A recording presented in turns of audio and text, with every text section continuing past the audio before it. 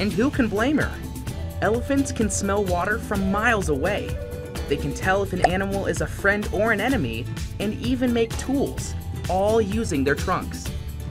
An elephant's trunk can be used as a snorkel in deep water, and it can even hold two gallons of liquid. Two gallons! Baby elephants have to learn to use their trunks.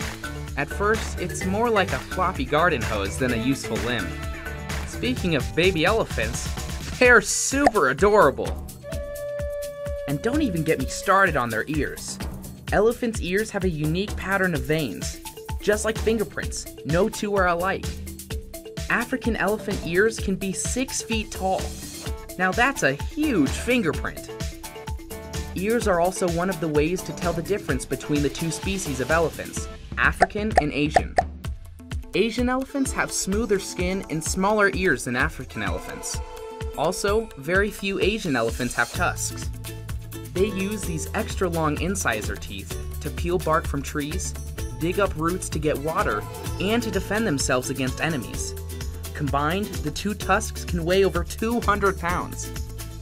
Unfortunately, they're the main reason why African elephants are endangered. Elephant tusks are made of ivory, which is prized by some cultures. It's carved into statues, made into jewelry, and crushed into powder. Poaching, the illegal hunting and killing of animals, is the biggest danger to elephants. Poachers kill these amazing animals just to take their tusks. It's too awful to even think about.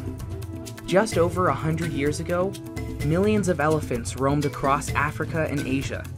Today, only half a million remain on the entire planet. If nothing is done to stop the poachers, elephants will disappear. But we aren't going to let that happen, are we? We're going to trumpet as loud as a herd of elephants to spread the word about what we can all do to help.